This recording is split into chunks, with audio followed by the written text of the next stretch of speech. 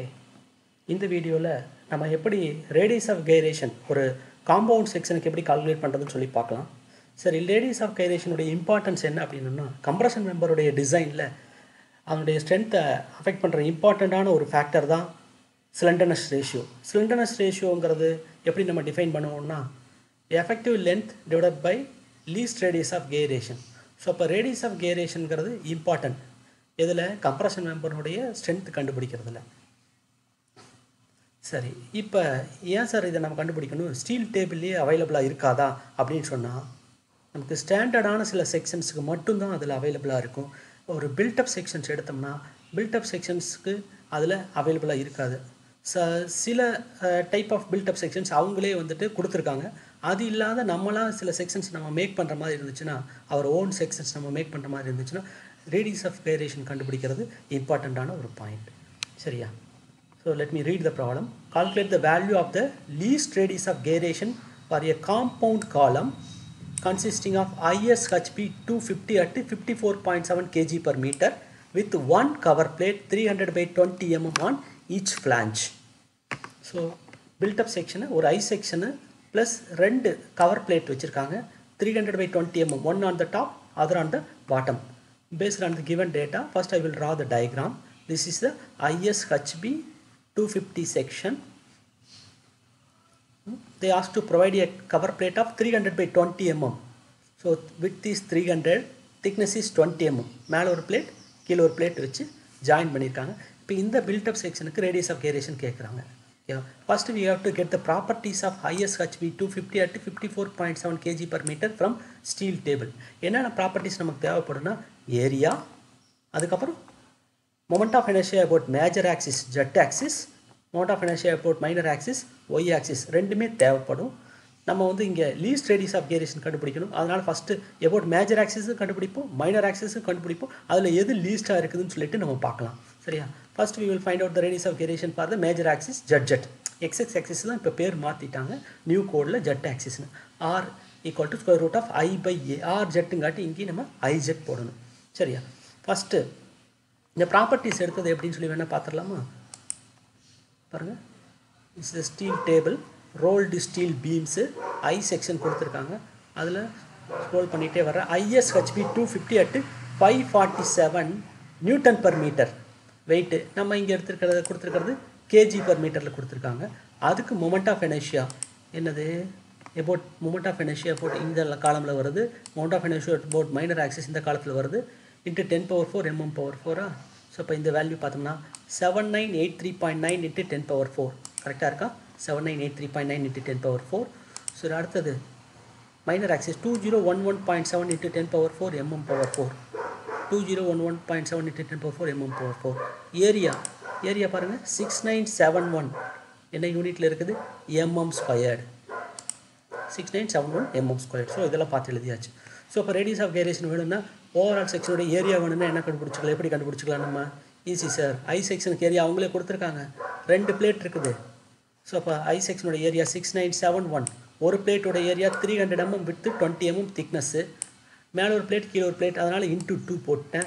ரெண்டையும் சம் பண்ணிங்கன்னா you can get the area of the compound sections one eight nine seven one mm square ஓகேவா இப்போ moment of inertia of the compound section கண்டுபிடிக்கணும்னு first you will I will locate the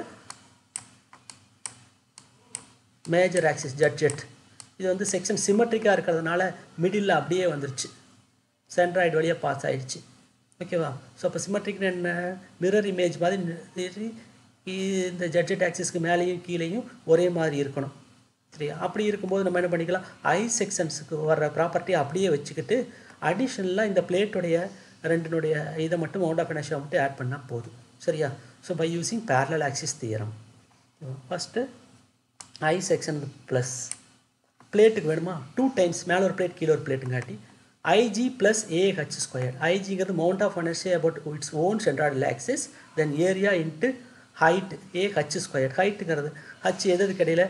நம்ம சொன்னோம்ல parallel axis ரெண்டு parallel axis இருக்கிற perpendicular distance சரியா? First moment of energy about I sections போட்டுக்கிட்டேன். Plus two times இது ரெக்டாங்குலருக்கு என்ன தெரியும்? பி இது இது D BD cube by twelve அப்போ three hundred into twenty cube by twelve rectangular செக்ஷனுக்கு about own centroid axis own centroid axis எப்படி இருக்கும்?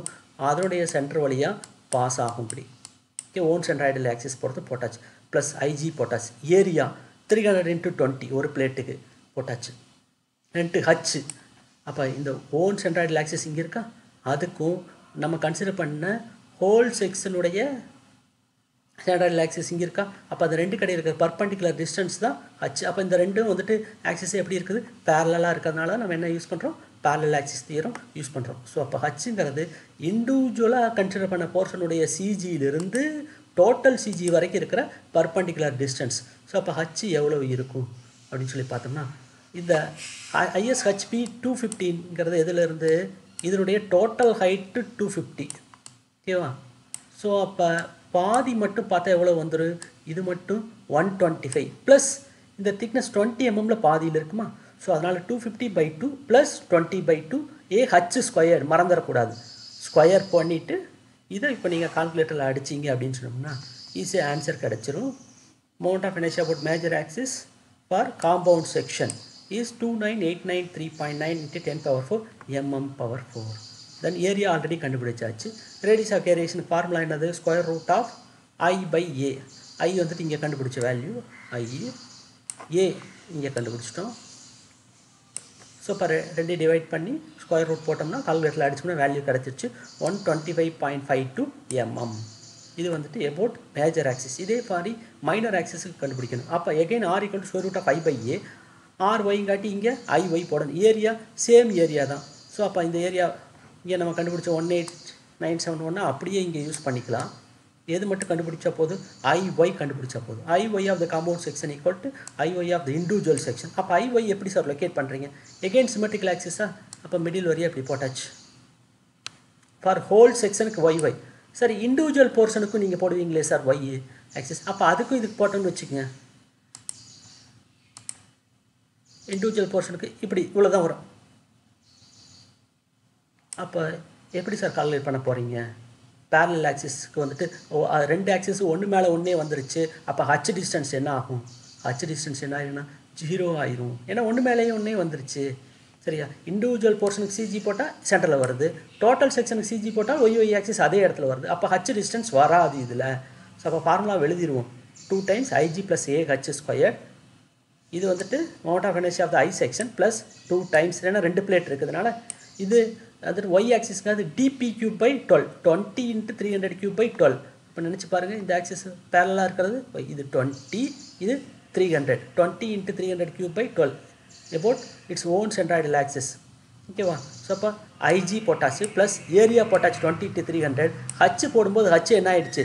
இண்டிவிஜுவல் போர்ஷனுடைய சிஜிக்கும் டோட்டல் போர்ஷனுடைய சிஜி அது இருக்கிற பர்பண்டிகுலர் டிஸ்டன்ஸ் ரெண்டுமே ஒன்று மேலே ஒன்று கோயின்சைட் ஆனதுனால ஹச் ஜீரோ ஆனதால் இந்த ஹோல் டேமே என்ன ஆயிடுச்சு நமக்கு? ஜீரோ ஆயிடுச்சு. இப்போ மீதி இருக்கிறத மட்டும் கால்குலேட்டரில் அடிங்க. அடிச்சிங்கன்னா you can get the moment of inertia of the compound section is one one zero one one point seven into ten power four mm power four இப்போ மவுண்ட் ஆஃப் எனர்ஜியாக தெரிஞ்சிருச்சு. Radius of variation R equal square root of I by A I value இங்கே கண்டுபிடிச்சி இதை போட்டுருக்கோம் A value already கண்டுபிடிச்சிருக்கிறோம். அதே value போட்டலாம் one eight nine seven one அதே போட்டுறோம். கண்டுபிடிக்கிறோம். எவ்வளோ வருது? கால்குலேட்டரில் அடித்தா seventy six point one eight seven mm so அப்போ radius of variation major ஆக்சிஸ்க்கு one twenty five point five two minor ஆக்சிஸ்க்கு seventy six point one eight seven அப்போ minimum radius of variation is இந்த ரெண்டில் லீஸ்ட் எதுன்னு பார்த்தோம்னா seventy six point one eight seven அதுதான் நம்மளுடைய answer so அப்போ ஸ்ட்ரென்த்தை govern பண்ணக்கூடியது எதுனா லீஸ்ட்டாக இருக்கிற ரேடியஸ் ஆஃப் வேரியேஷன் தான் கவர்ன் பண்ணும். அதனால் நம்ம பெரிய ப்ராப்ளம் போடும்போது ரெண்டு ஆக்சிஸை பொறுத்து ரெடியூஸ் ஆஃப் வேரியேஷன் கண்டுபிடிக்காமல் எது மைனர் ஆக்சிஸோ அதை பொறுத்து மட்டும் கண்டுபிடிச்சிட்டு செம்ம ப்ரொசீட் பண்ணிக்கலாம்.